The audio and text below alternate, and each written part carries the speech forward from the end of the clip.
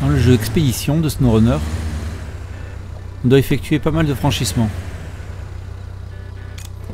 Il y a une fonction intéressante où on peut jouer sur la pression des pneus pour nous aider à franchir certains rochers ou certaines parties difficiles. Bonjour, c'est Scientiprof dans Montrer démontrer avec les jeux vidéo. Une fois l'obstacle franchi, on peut remettre de la pression dans les pneus pour pouvoir continuer notre voyage. Alors, pourquoi ne pas continuer tout le temps avec une pression moindre si ça va mieux? C'est parce que ça va abîmer beaucoup les pneus. Si on baisse la pression et qu'on roule trop longtemps, le jeu traduit cela sous forme de dégâts au niveau des pneus. Et les points de dégâts apparaissent aux quatre pneus. Ce qui est dommageable pour la suite euh, du voyage.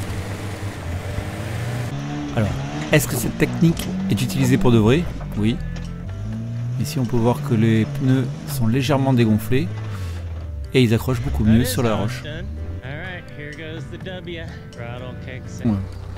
Pour expliquer cela, on utilise la relation qui va lier les trois grandeurs pression, force et surface.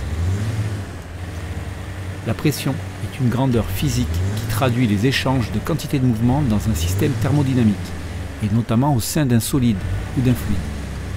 Elle est définie classiquement comme l'intensité de la force qu'exerce un fluide par unité de surface. On l'écrit simplement pression qui est égale à la force divisée par la surface. On dit aussi que la pression est inversement proportionnelle à la surface. C'est-à-dire que si j'augmente la surface,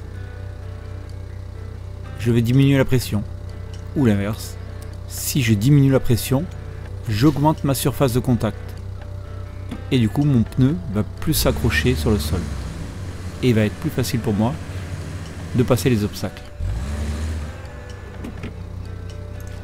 Pour les unités, si la force est en newton, la surface en mètres carrés, on aura la pression en pascal.